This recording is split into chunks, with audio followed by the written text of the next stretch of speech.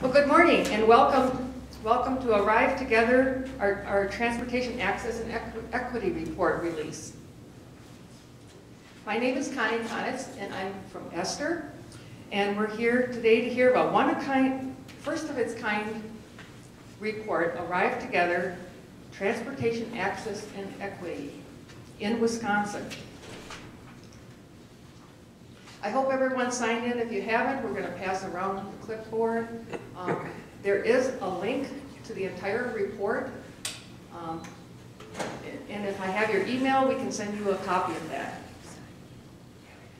I find if we've been living in a city for a long time, or if we have not been a regular rider of public transit, we tend not to see it at all.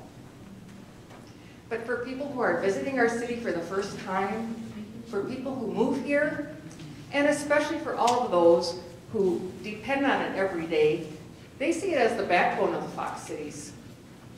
It's a connection to destinations and to each other.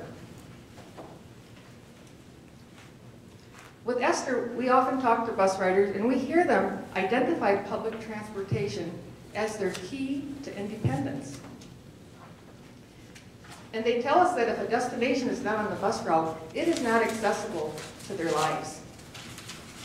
And so that's why we're talking today about transportation access and equity.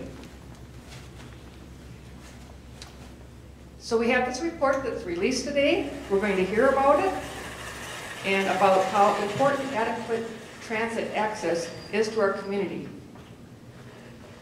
First, we're going to hear from Elizabeth Ward.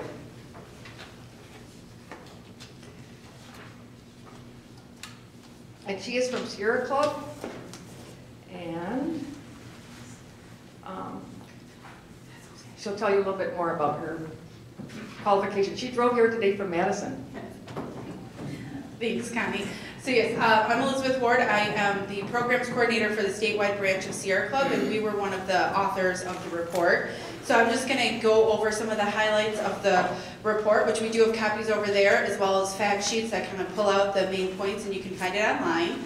Um, so the report called Arrive Together, Transportation Access and Equity in Wisconsin looked at a statewide level at whether or not our transit systems and our transportation system at large was properly providing access for people who, um, to get to work, to school, to medical appointments, um, who don't drive, who can't drive, who can't afford to drive, or who don't want to drive.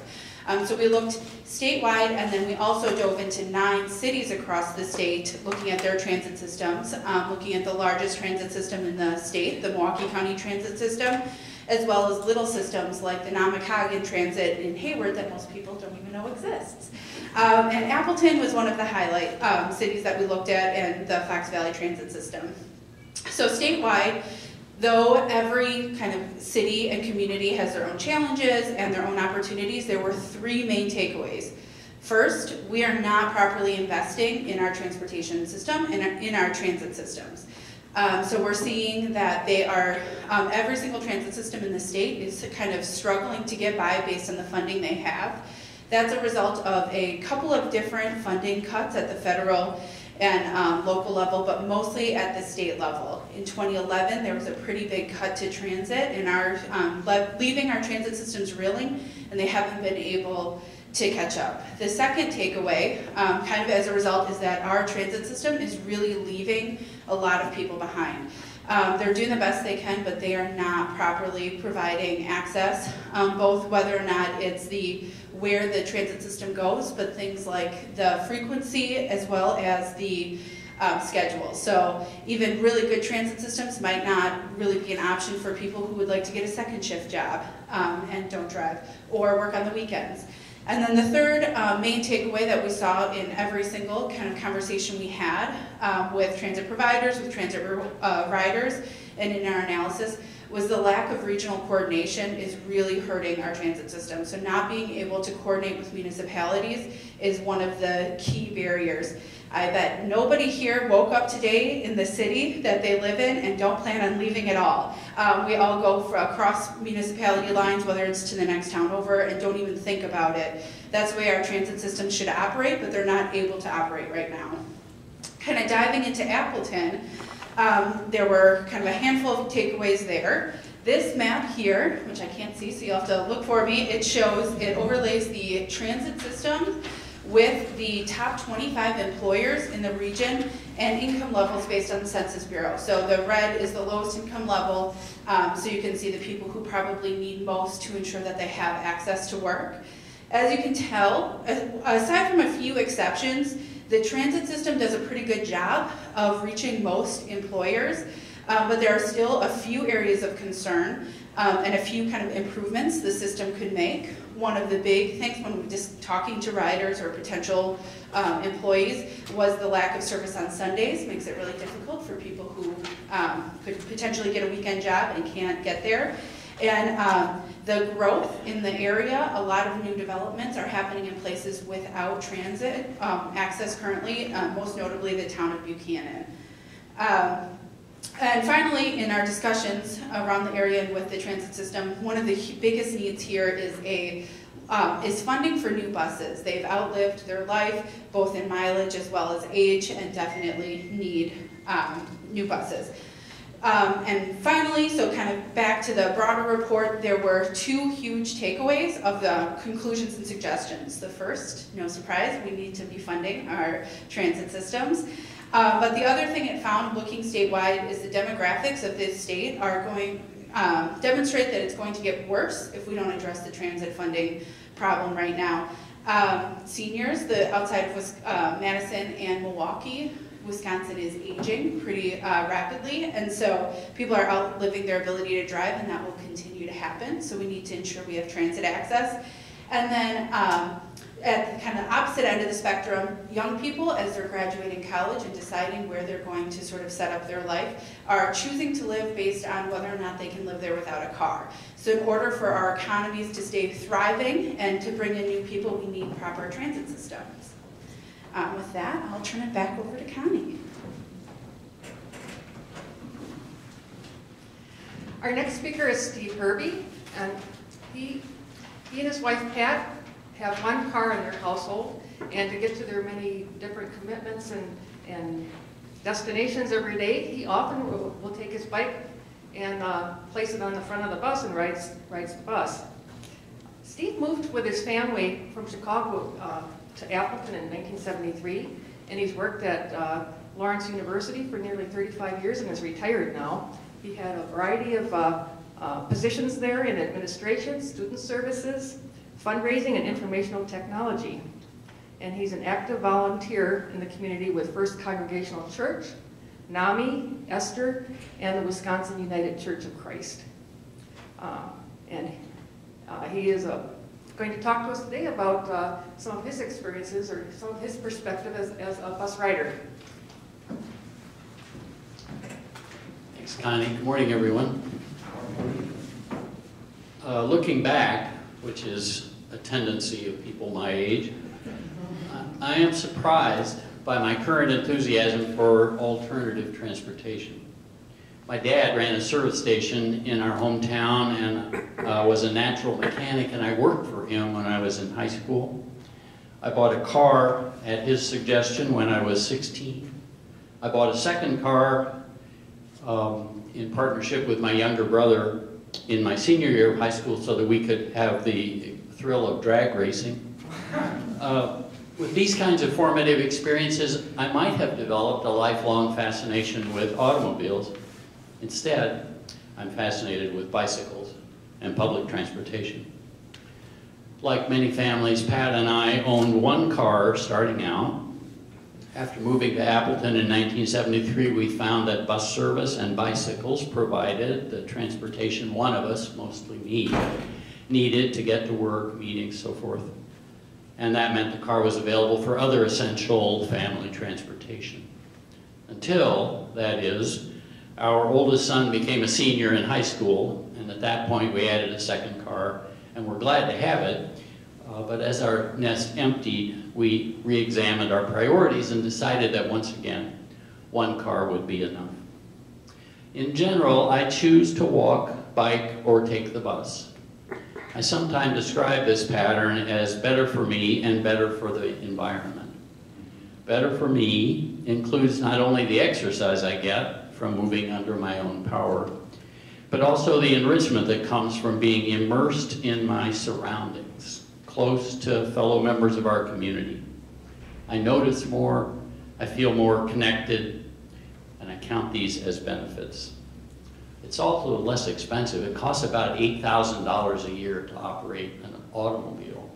What else can Pat and I do with $18 $8,000 a year? And better for the environment certainly includes less use of fossil fuels and less of an impact on our ecological neighborhood, just to keep me mobile. But I believe as well that the social environment all of us share is made stronger when I draw from resources that we hold and pay for in common, including public transit. When I take the bus to the Esther office in Neenah from my home in Appleton, I'm not only using an energy efficient and environmentally friendly way of getting there, I'm also making a personal commitment to the shared resource that is Valley Transit. I'm widening my experience by interacting with people I would not otherwise see. I remember getting on the bus in Neenah on a way back from, uh, from a meeting at the Esther office, sitting behind a young couple, and uh, they spent the entire trip back to Appleton kissing each other. I'm, I'm widening my experience by interacting with people I would not otherwise see. In those ways, my bus travel helps me to participate in knitting what Martin Luther King Jr. called our single garment of destiny. It helps us give shape to our life together. These are, to me, things well worth doing. And part of the reason that I appreciate the work that has gone into the report that is being discussed today. Thank you.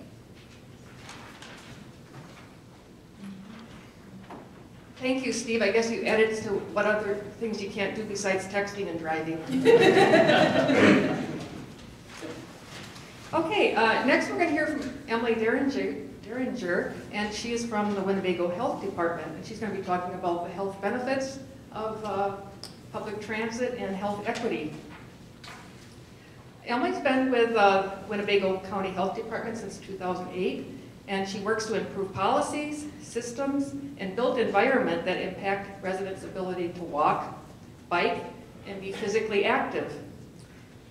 Also in using the transportation system and connect with people and places. Emily's coordinator of a team who is working to implement Winnebago County's rural-focused bicycle and pedestrian plan created by the county's Health, Highway, and Parks Department. And she's a founding member of Fox Valley Thrives, is where I met her, and that is an alliance working to improve health equity in a three-county region. Thank you, Emily. Good Morning, everyone. Um, I'm here to talk about how transportation impacts a person's ability to be healthy. Um, so there's a couple different ways that that there's multiple different ways. I'm going to talk about a couple. Uh, so the transportation system plays an important role in ensuring that people can reach everyday destinations safely, reliably, and conveniently. Access to a variety of transportation options like walking, bicycling, and transit allow residents to go grocery shopping, to work or school, to get their hair cut, check in with the doctor, meet up with friends, or enjoy a local park. All of these things impact a person's ability to be healthy. Nearly half of all transit trips in Wisconsin get people to jobs. Access to good paying jobs is critical in improving health. Having a good paying job makes it easier for workers to live in healthier neighborhoods, provide quality education for their children, secure child care services, and buy more nutritious foods, all of which impact health. By contrast, unemployed residents face numerous health challenges beyond loss of income, including increased occurrences of stress-related conditions like stroke, heart attack, and heart disease, and are more likely to be diagnosed with depression. And research shows people classified as working poor are less likely to be offered health insurance at their workplace and are less likely to access preventative health care services covered by insurance, such as blood pressure and cholesterol screenings. Fox Valley employers and transportation service providers are currently working to close some of the transportation gaps that are by providing access where the built environment is lacking because they recognize the importance of getting people to work. In addition to good paying jobs, the conditions that we live in are also strongly linked to our ability to be healthy. People living in communities that are walkable, bikeable, and transit oriented are more likely to be physically active, have less weight gain, have lower rates of traffic injuries, and are less exposed to air pollution. Investments in sidewalks, bike lanes, trails, public transit, and other infrastructure that supports physical activity can result in improving individuals' health and decreased healthcare costs. Poor transportation decisions and poor funding can harm health and are not always fair across all communities. Low income and minority neighborhoods are often less likely to contain the built infrastructure of a complete transportation network, such as sidewalks, and lack convenient access to parks, healthcare, and healthy food. Ensuring that all residents have access to a variety of transportation options makes it easier and safer for folks to get from point A to point B, which is an important factor in improving and maintaining health.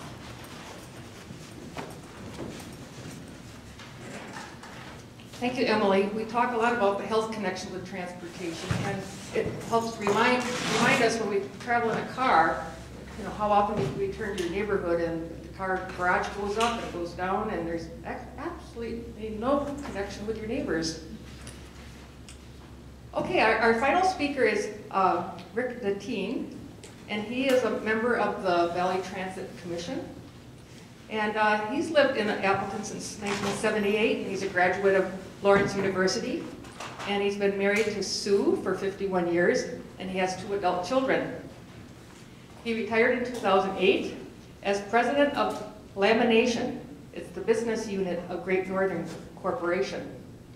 He's been active community volunteer with Voices of Ben, a reading tutor for first graders with United for Reading Success Program, Valley Transit Commission, and he's active in his church and also coaching with Special Olympics basketball. And today he speaks on his perspective as a member of the Valley Transit Commission. Thank you, Rick. Good morning. I did not expect you to read that verbatim, but uh, it was good fill. Um, I am a member of the Valley Transit Commission and a longtime resident of the Fox Cities. And I would like to say thank you to those who worked so hard to produce the comprehensive Transit Access and Equity in Wisconsin report. This is really a fine piece of work. Much of what is in it reflects concerns that are frequently discussed in our Valley Transit Commission meetings. We have very common themes listening to the folks behind me and, and what occurs in the Transit Commission. We worry about the same things.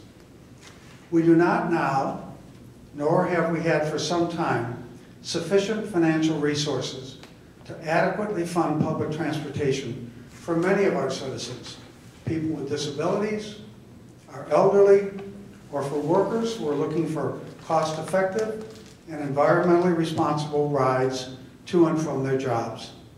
Our funding shortfall limits both the frequency of service and the areas that we can effectively cover. We are caught in what I would call a zero-sum game. We're providing additional service to, for instance, a growing residential area, uh, or to maybe a new major employer dictates that service somewhere else is going to be compromised. In my years on the Valley Transit Commission, I've been very impressed by what our excellent staff has been able to uh, accomplish with the constraints they face. But we could, and we should, do more, much more. However, the resources are rarely there. One answer to our funding dilemma might be the establishment of a regional transit authority. Unfortunately, the state legislature has not understood that this is truly the best solution to our ongoing funding restrictions. And I think Valley Transit and how it operates indicates how a collaborative regional service can work and be good for the citizens in that area. I would like to add a personal note. Our son Andy and his wife Beth, both of whom have disabilities, are very regular and very satisfied riders of Valley Transit. They do not drive. They ride the bus to their jobs at Home Depot and Lawrence University, They use the bus to go to movies, visit the mall, go out to eat. Uh, They are known by and are treated well by the Valley Transit drivers, and they enjoy being on the bus. The service is truly important to their independence and their daily living needs. But it could be better. For example, there is no Sunday service when Andy goes to work regularly. We can drive him to Home Depot in about 15 minutes, but it can take him an hour, sometimes an hour and a half to get back uh, from, from his job. Um, For a lot of folks who had a choice, that's an inconvenience that they wouldn't put up with. For those who don't have a choice, they're glad to, to have that, and they'll, they'll live with that. This is what I call a yay boo, or a good news, bad news situation. We're very thankful for what we have. We just wish it could be better. And of course, that's a challenge for all of us concerned about public transportation. Thank you.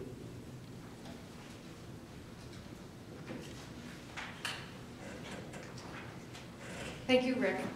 Um, We certainly heard a lot this morning about how uh, public transportation affects people's lifestyle, it- how much time they spend getting places, if they can get places, and um, it- whether or not uh, it might add to, to their health as well. Um, We'd like to ask if there's any questions that you have. John? I have a comment and a question. I was happy to see at the recent debate for state senate that the Democratic candidate supports the idea of regional transit authority. Um, I would, I would encourage voters to keep that in mind. My question is about the book, The Next Step Communities, which I was privileged to be in a study group on a couple years ago, years ago. It talked about communities that really nurtured an environmental appreciation and a collective building uh, promise called the Next Step Communities. Um, A, was analysis done on that for your report? And if not, could that be done in the near future? If what can be done in the near future? It's kind of a comparison and analysis of transforming the Fox Valley into a next step community. Is anyone familiar with that book or study? Not familiar with it. Okay. We'll have to look into that, talk to us more about it. Sure. Because we have uh, people on Fox Valley Thrives, Esther, and um, Elizabeth and I are part of a- a bigger group, uh, statewide group. It's called Coalition for More Responsible Transportation in Wisconsin. Members of Sierra Club, 1,000 Friends, um, um, a lot of the Wisdom affiliates, and WISPIRG. Any other questions?